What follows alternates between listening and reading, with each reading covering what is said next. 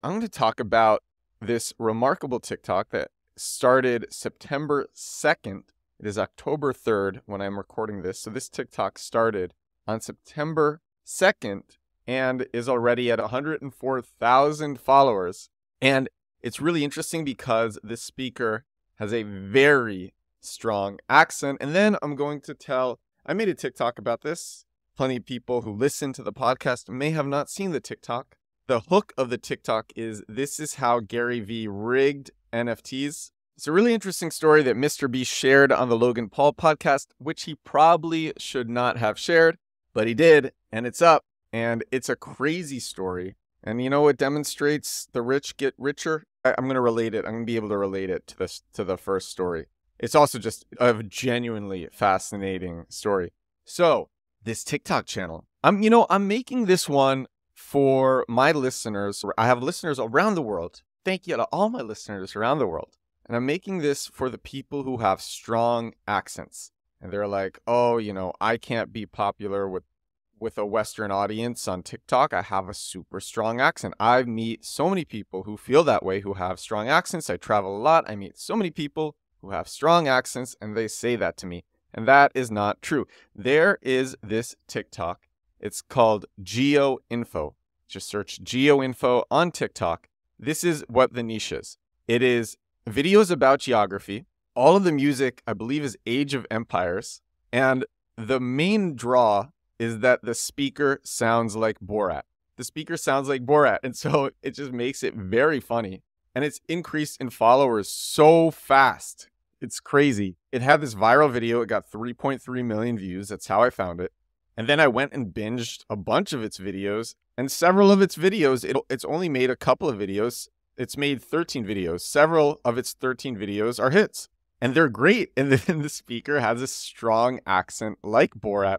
And this differentiation has caused the channel to grow to 100,000 followers in a month.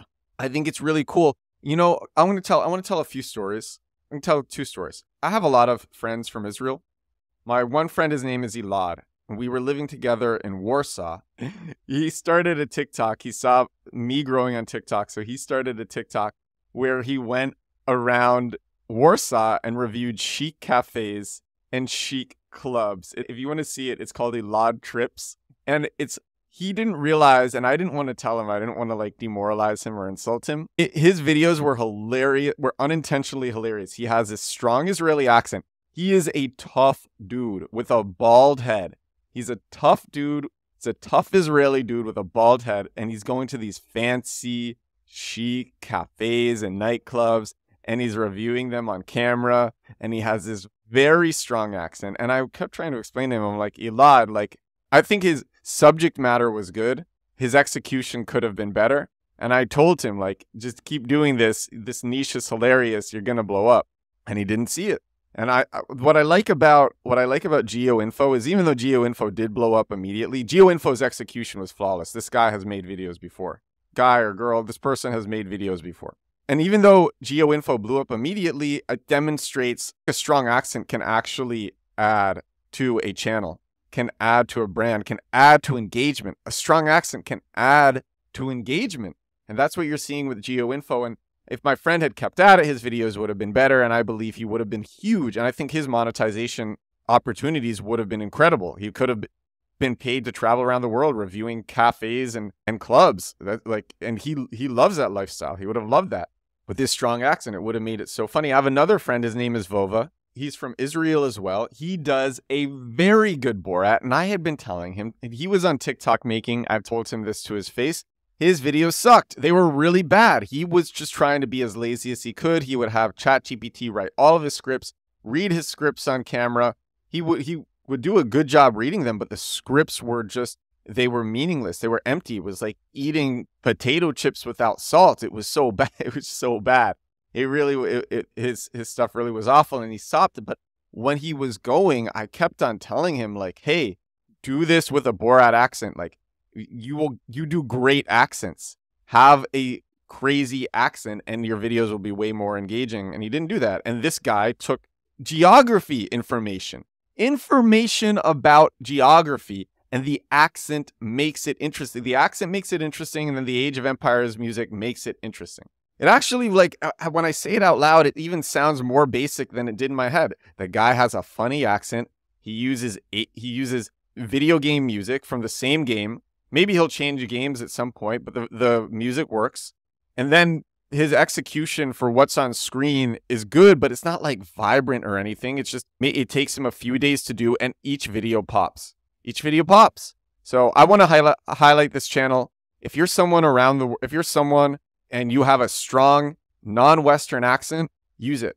Use it, or just a, like a strong not American accent, not English accent. Use use the accent because the accents are fun. The accents add to engagement. Now, what happens when you have engagement? What happens when you have an audience? How do you turn that crazy audience into into more? How do you and you're making money? How do you turn that money and an audience into more money? And that is the story that I'm going to share next about Gary Vaynerchuk rigging the NFT market. This is a story, like I said, that Mr. Beast told on the Logan Paul podcast. Probably should not have said it, but he did. I think that episode was number 291. You can look at it in my TikTok. Here's the story. Mr. Beast, 11 p.m. Mr. Beast is going for a walk. He's going for a walk. It's it's night, and he gets a call from Gary Vaynerchuk.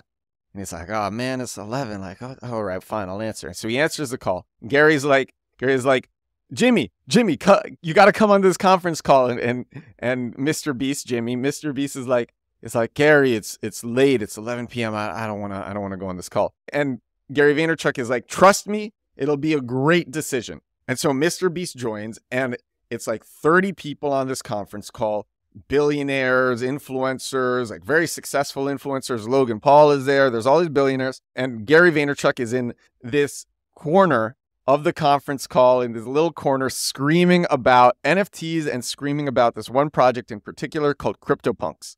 And he's saying everybody has to buy a CryptoPunk or you should buy several. CryptoPunks are going to be the next the next Facebook. That's what he's saying. CryptoPunks are going to be the next Facebook. And it's early February in 2021 and he gets the people on the call to buy CryptoPunks and you can look if you look at the chart for CryptoPunks, you can see during the month of February from the beginning to the end, you can see a big jump.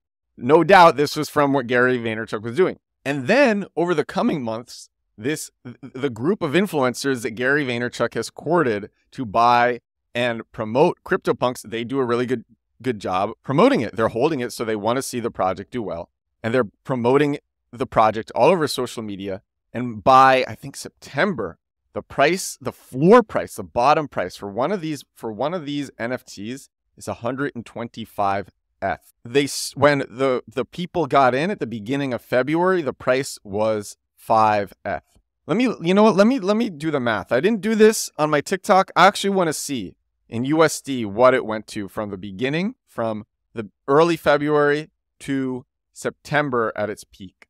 The floor price for one of these NFTs for a CryptoPunk in early February 2021, the floor price was about $8,400 in early February 2021. By the peak that year, around the middle of September, the floor price had risen to almost $500,000. Mr. Beast says on the podcast he got eight of these things. He he got eight. He got eight of these things, about four four four M. Well, if that's if he got if he just got the basic ones. He probably actually made a lot more because he uh, he said that he was trying to get ones with like rare traits. So he probably made a lot more. All right, so everyone who Gary Vee pitched CryptoPunks to and who actually listened, they all made all this money. And now here is what they did. This is what Mr. Beast says he did. So they sell at the height. Mr. Beast 20x's his money, maybe 25x's his money, sells at the height. And then Gary Vee had launched VeeFriends a few months earlier. VeeFriends is Gary Vee's own NFT project, it's his own NFTs.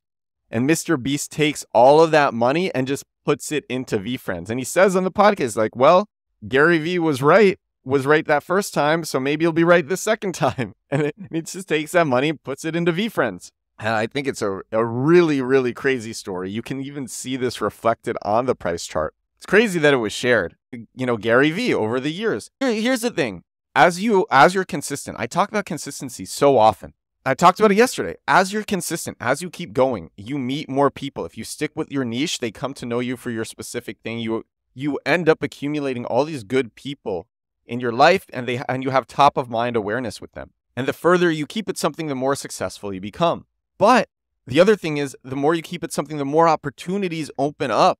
Time expands your surface area for luck. Time and vocality, vocality especially, time and vocality expands your surface area for luck, meaning the longer you are vocal with something, the more likely it is great things will happen to you. And as you keep going, you get into opportunities where you've acquired lots of good people, you've accumulated lots of good people in your life, and you can do some sort of crazy conference call with 30 with 30 billionaires or 30 influencers and billionaires and be like, "Hey, let's all buy this this speculative a- asset and then pump it." And that's what you and that's what uh, that's what you saw happen. Everyone made a ton of money. The rich get richer, and you know everyone started somewhere. And I don't know why the people who are listening to this podcast, I don't know why they can't start with a funny sounding TikTok where the accent increases the engagement that the videos have. This is episode 90 of The Edward Show. Listen, everyone has a niche, everyone has a spin, everyone has something that's special to them. I actually do believe that everybody has a story and that everybody can put a can put a spin on their li- their lives. Even the people who believe they live the most basic life can put a spin on it that makes it interesting. Everything can be spun to be interesting. That is something that I discovered in 2018 when I learned how to write headlines for press releases. And that is something that to this day I still believe, and I will believe it until the day that I die. I hope that's a long time from now. All right, I'm ending the pod, episode 90. Thank you so much for listening. If you like this episode, if you like the podcast, let me know. It keeps me going. It helps me. I love to hear I love to hear people enjoying my stuff. And if you want to subscribe to the newsletter, I share stories like this, growth hacks, lots of other fun stuff at edwardsturm.com forward slash newsletter. I'm going to finish this hazelnut coffee. Thank you so much for listening. I will talk to all of you again tomorrow. Bye now.